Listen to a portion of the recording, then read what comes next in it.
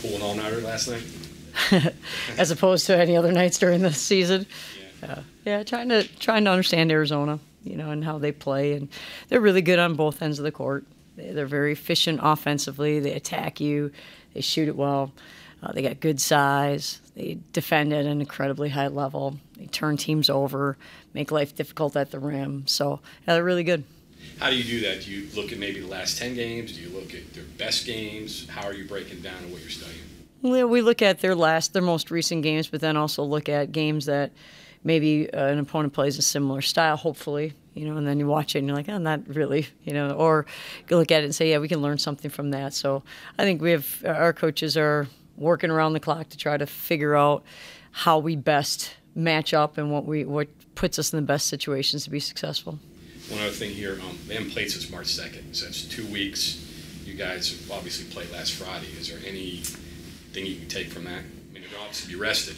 Right, been on both sides of that. So I think whichever side you're on, you probably look at the other side and say that's a better advantage. So I think ultimately, you know, our our young ladies had some time off, and then we've kind of gotten back at it, and you know, hopefully that that favors us in the sense that you know we're we're in a good spot. Hopefully. Coach, you get in there, you know, Sunday evening, and yeah, I mean, probably crunching numbers and, and looking at it. But when that show starts, you know, what, what are you thinking at, at, at that point? Are you thinking in, out? Don't know. I mean, Well, I believe that our young ladies deserve to be in. You know, from before the the Big 12 tournament, I thought that we they had put themselves in a, in a spot where they'd earned that right as the as a team that was tied for fourth in the Big 12. And then you look at the quality wins, and then you compare our resume to other teams that they say are on the bubble, and all of it appears as though we are in a really good spot. But again, ultimately, every selection committee is a little bit different. I've had the fortune of being on the side that we were on last night. I've had the fortune, misfortune, or unfortunate situation being on the other side of it. So, you know, you you don't know for sure until till you till your name pops up or it doesn't. And to, last year when we were at South Dakota, we were the very last team that was announced. We knew we were in, and that was nerve wracking. We thought maybe they forgot about us, so it's nerve wracking whenever at that point in time. Do you think that um, the double round robin um, was fully appreciated? Certainly, it was by the committee. And you played the top teams twice, Right. you know, and some of those teams that were on the bubble maybe didn't play a top team at all. Well, certainly the strength of our of our conference and the depth of our conference this year just outstanding. And so now that we're in, you hope that it prepares you to play, you know, play at a high level. For you, when, when you when you came and took a new job, and now you got a bunch of new girls and the, the whole whole city and everything else, uh, did you feel like a rookie coach again? Did it, did, was it like being reborn? And how, how did you how did you approach putting things together?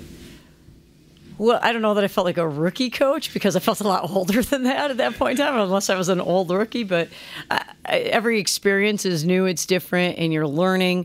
You know, you're learning a whole new group and and trying to bring everyone together and trying to teach a new system, but also modify your system to fit the players that you have. And you know, throughout the course of the entire season, I think our, our coaches have really been diligent about trying to continue to work on basic simple fundamental to help us get better and and at times you know we've we've seen that we've, we've seen our young ladies really grow and you know played really well down the stretch and that's going to be you know hopefully important for us to build upon now that we're we have a chance to keep playing Speaking of that down the stretch, uh, Madison came became a scorer. How did that come about? Did you sit down and talk to her, or did I mean that wasn't there the twenty point score for three four years? I mean, and all of a sudden she said, "It's my my this is my game now." Right. Well, I think in, in Maddie's scenario, you know, she really started the season this year in a very different role than she's been in the past. And and the the challenging part about that is and and she did an incredible job of accepting the challenge is that when you're not a, a young lady who is a primary scorer on a team in the past, then to become a primary scorer, you have to have that desire. A coach can tell you all you want. You've got to hunt shots. You've got to be a threat. You've got to do all those type of things, and that helps players. But ultimately, that when that player wants to be have that have have that responsibility, things can really take off. And I thought, think she's someone certainly from the beginning of the year all the way throughout who had that mindset and that approach. And that's not always typical for a point guard. You know, that can that doesn't always happen that way. So to her credit, we needed that out of her, and she certainly brought that and pl- has played really, really well. To what Bob was asking before about first year, I mean, you've had first years at other places. Um, Ten months ago, you were wearing a different logo, different colors, the whole deal. What has been unique about this situation to you? That's a great question. What's been unique? Uh, when you, I think when you start at, at a in a program, you don't know what you don't know and so you're you learn you're trying to learn the players you're trying to learn what their tendencies are. You're trying to learn what we can do things in practice all we want but then when the lights are on it's a little bit different. And then you know players are going to play the way that they're comfortable and they're going to do what they do. And then how do you as coaches try to then maybe modify what you do to fit who they are naturally? JJ is a great rebounder for example an incredible rebounder.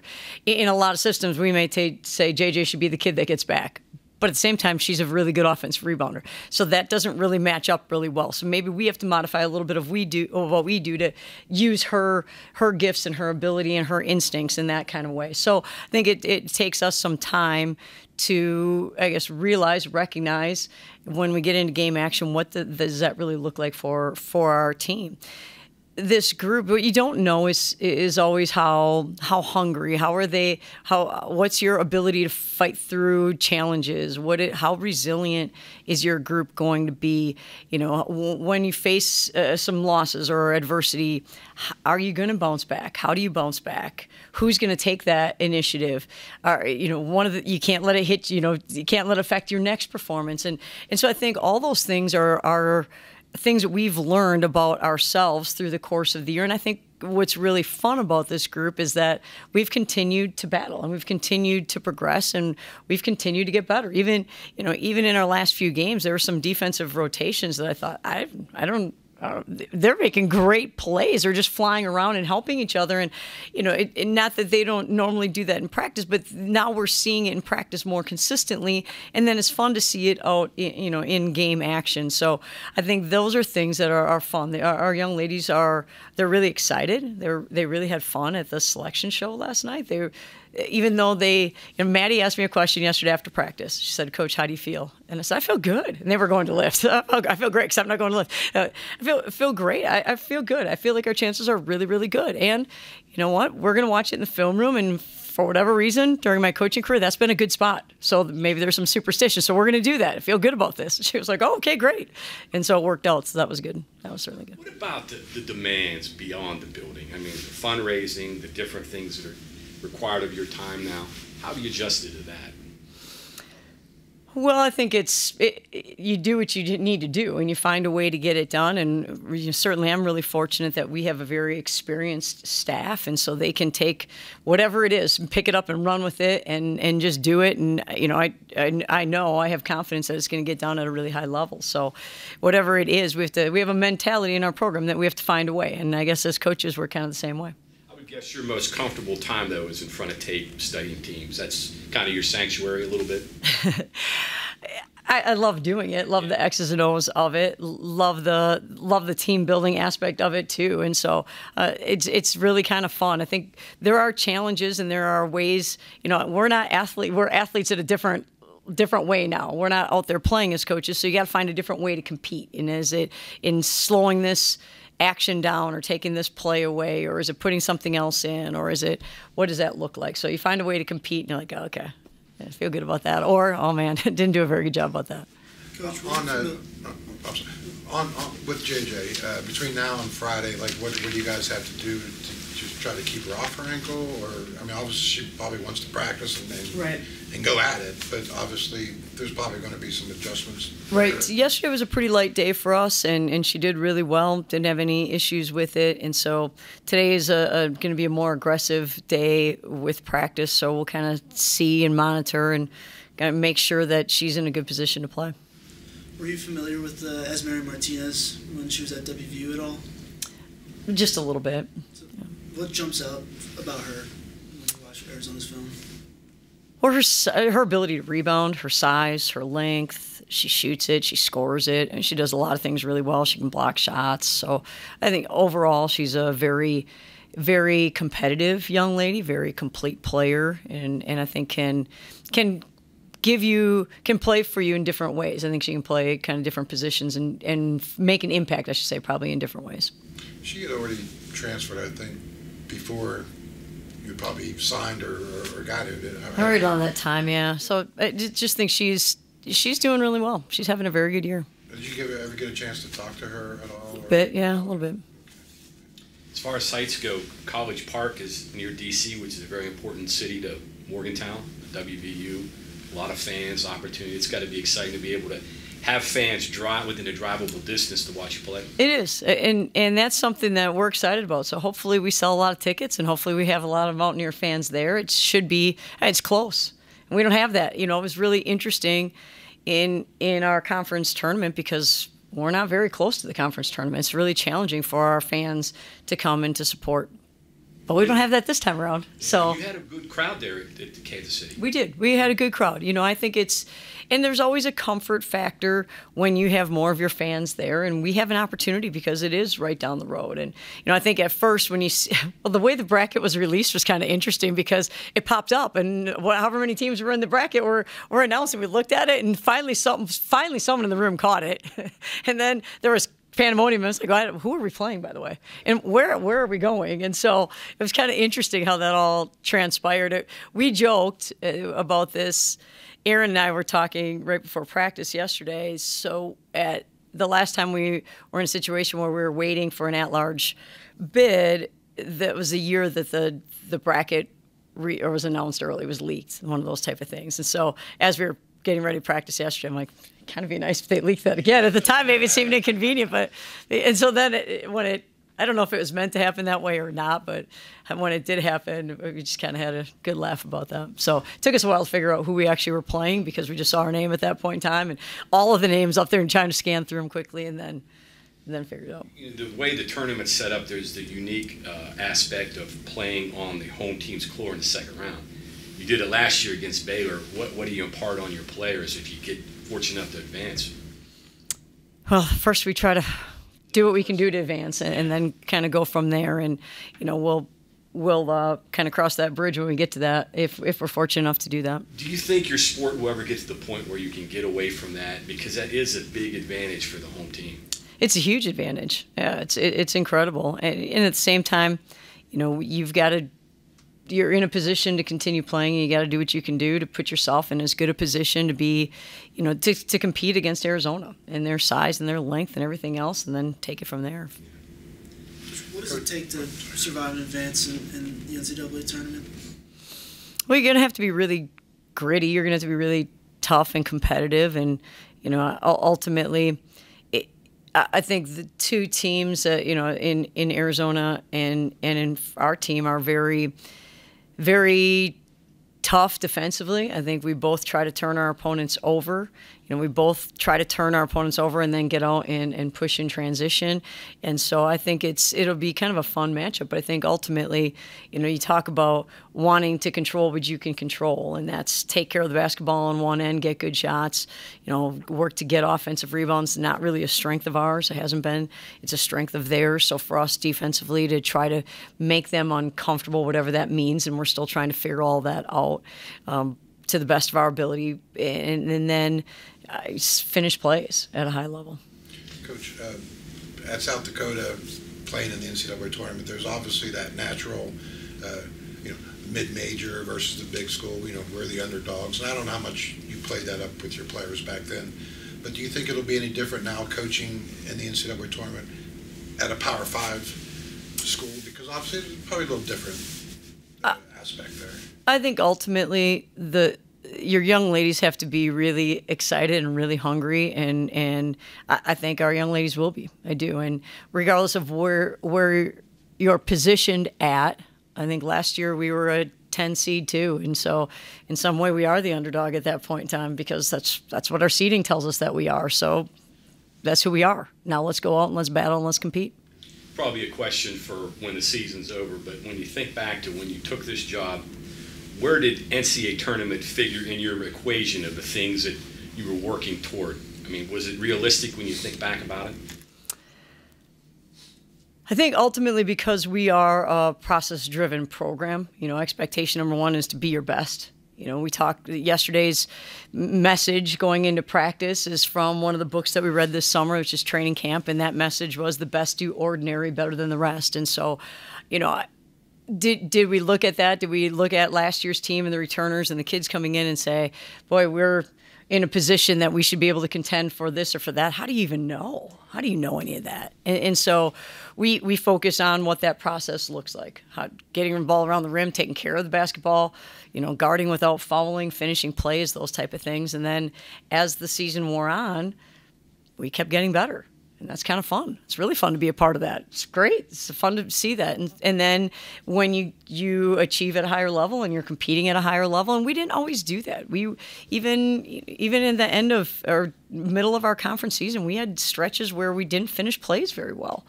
And so we've then we adjusted how we practiced, even though we were practicing drills to work on that skill set. They weren't working very well for whatever reason, and so we had to find new ways to work on it. And maybe the new ways worked a little bit better. Maybe the film worked. How, how do you really know? And, but something was working, so then we kept doing that something, and then then that wasn't working. Then we had to do it a little bit differently. And so the the fun part about it is finding ways to continue to either grow our knowledge base of what we want to do and the why behind what we're doing, what we're doing, as well as the ability to actually go do that. And then the comfort to say, yeah, we did that. We do that all the time. That's what we do. You know, so again, yesterday's message was the best do ordinary better than the rest. Our, our job is to play basic, simple, fundamental basketball, share the ball, take care of the ball, get good shots on the other end, work to limit opportunities for your opponents and finish plays. And see, it doesn't, it's not very complicated, I guess, when you put it that way. And that's kind of our approach you've consistently made postseason tournaments in your career. I believe it was 14 of 15 before this year, now 15 of 16.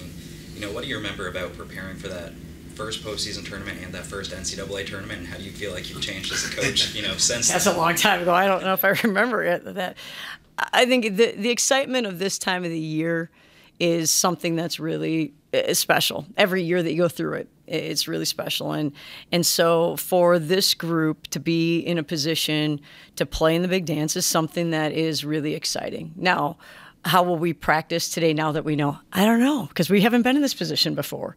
And so how will we respond to it? I don't know. And if we don't respond very well, then tomorrow we better do something differently so that we get better.